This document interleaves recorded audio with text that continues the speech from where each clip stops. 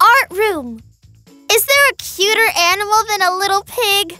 They're so cute and fat. They look like they're always laughing too, huh? The Three Little Pigs is one of my favorite bedtime stories. And guess what I'm gonna draw in today's episode?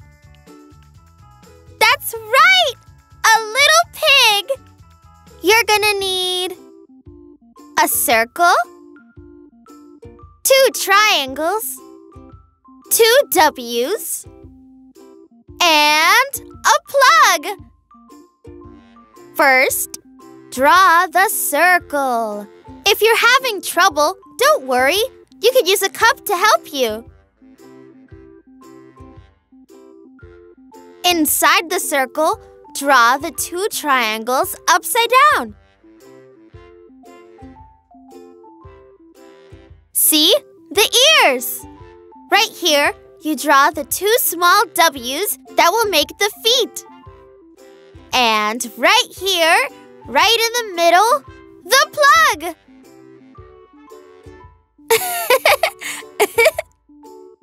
now, we just do the eyes. Two little marks here for the cheeks. And the little tail here in the form of a spring. How cute! Your little pig is ready. You can even draw a house for him. Just make it real sturdy because of the big bad wolf.